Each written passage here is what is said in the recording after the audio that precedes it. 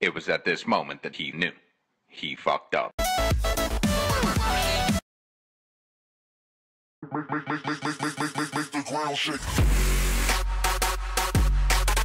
All around me are familiar faces, worn out